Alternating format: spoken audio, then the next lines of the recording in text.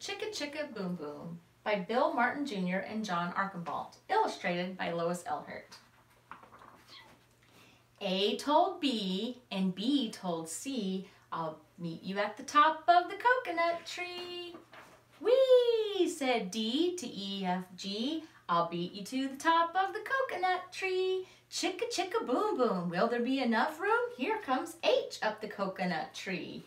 And I and J and Tagalong K, all on their way up the coconut tree. Chicka chicka boom boom, will there be enough room? Look who's coming. It's L M N O P. And Q R S and T U V. Still more, W X Y Z. The whole alphabet up the oh no. Chicka chicka boom boom. Skit scat scoodle doop flip flop flea. Everybody run into the coconut tree. Mamas and papas and uncles and aunts hug their little dears, then dust their pants. Help us up, cried ABC. Next from the pile up, skin knee D, and stub-toed E, and patched up F.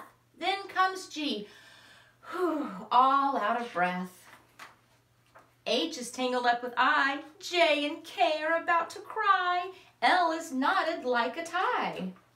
M is looped, N is stooped, O is twisted, alley-oop. Skit scat, scoodle doop, flip flop flee. Look who's coming, it's black-eyed P, Q R S, and loose tooth T. Then U V W wiggle jiggle free, last to come X Y Z, and the sun goes down on the coconut tree. But chicka chicka boom boom, look, there's a full moon.